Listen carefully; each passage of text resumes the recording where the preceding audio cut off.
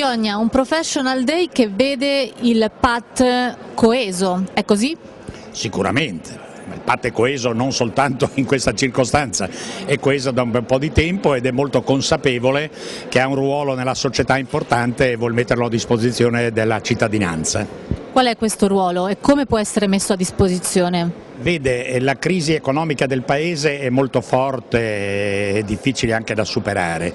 Le categorie tecniche in particolare hanno delle soluzioni, soluzioni che mettono a disposizione di chi andrà a governare fra poco e con la speranza che questi capiscono che la risoluzione del problema e l'eventuale superamento della crisi non può avvenire di botto, ma deve avvenire solo per piccoli passi.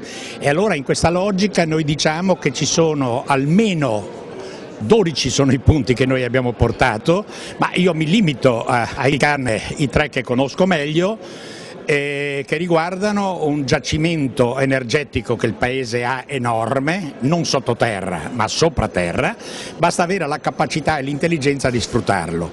Analogamente eh, c'è il problema della sicurezza che deve essere assolutamente risolto e quando pensiamo che 8 milioni di unità immobiliari in questo Paese hanno l'impianto elettrico fuori norma, beh credo faccia un po' impressione. 8 milioni di unità immobiliari significa il 40% delle abitazioni. Veniamo alla sua categoria nello specifico, i periti industriali, in che modo voi potete essere utili al Paese?